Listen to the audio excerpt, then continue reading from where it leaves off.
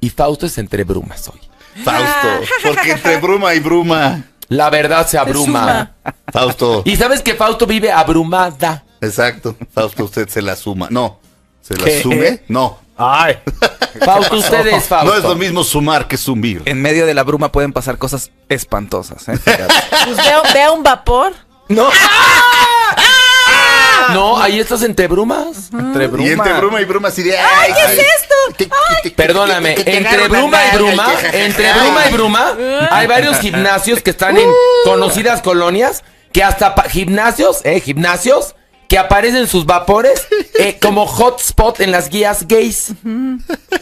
Por eso, Ahorita- entre bruma y bruma, la verdad se suma. Ahorita en el vapor, ahorita en el vapor están haciendo el trenecito pum pum. Sí. Y ahí estás. Unos vas- Espérate, no me, no, ¡Coleadas! no un amigo mío, no, ¿sí? Coleadas. hacen coleadas, Pero con U. no, Coleadas, pero la O Bueno. sustitúyala usted por una U. y en los gimnasios, perdón que se los diga, se juega, se juega mucho a las cebollitas. la cebollita. Es verdad, se las dejan caer así. cebollitas. Juegos infantiles Bueno, inocentes. No, ¿eh? un conocido mío se salió de un gimnasio porque el vapor le abrieron una ventana, o sea, para que se viera para afuera. o sea, pero claro, la ventana estaba, digamos, protegida para que los de afuera no vieran para adentro. Pero ponía más en evidencia lo que podía ocurrir en el, en el, en el, en el vapor. Es decir, le abrieron. uh, y entonces ya no era tan ínchimo. No. Que dices, pues al vapor Es que se estaban ahogando. no, no, espérame, no, no, le abrieron una especie como de, de, de, de- de ventana con un vidrio para que los de, a- a- es decir, que, que hubiera menos privacidad, Ajá, claro, sí, sí, sí, claro. sí. ¿no?